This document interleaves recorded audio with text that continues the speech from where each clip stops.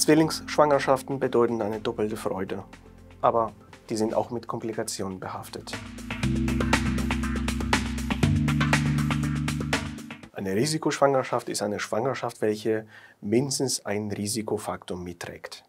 Dazu gehört das mütterliche Alter, mütterliche Vorerkrankungen, Komplikationen während der Schwangerschaft, eine Entwicklungsstörung des Fetus, der Gestationsdiabetes oder ein vorbestehender Diabetes mellitus, der Bluthochdruck, ein vorbestehender Bluthochdruck und Zustand nach einer Komplikation einer vorangegangenen Schwangerschaft.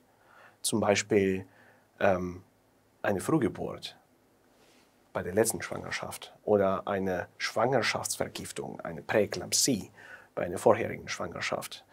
Aber auch ähm, eine Auffälligkeit im Rahmen einer Ultraschalluntersuchung, zum Beispiel eine Fellbildung oder eine auffällige Durchblutungsuntersuchung, eine sogenannte Dopplermessung, kann zu einer Risikoschwangerschaft führen.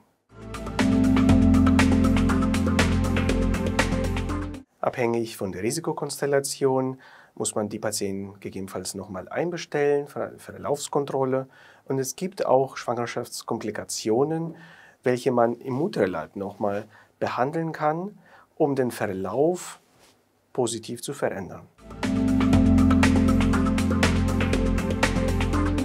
Zwillingsschwangerschaften bedeuten eine doppelte Freude, aber die sind auch mit Komplikationen behaftet.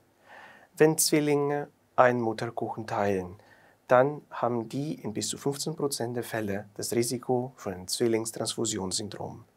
Bei einem Zwillingstransfusionssyndrom bestehen Gefäßanastomosen, Gefäßverbindungen zwischen den zwei Nabelschnuransätzen, zwischen den zwei plazentaren Territorien. Und in diesem Fall kann der eine Fetus Blutvolumen zu einem anderen shiften. Diese Komplikation einer monochorialen Zwillingsschwangerschaft kann man im Mutterleib noch behandeln, indem man eine fetoskopische Laserung durchführt.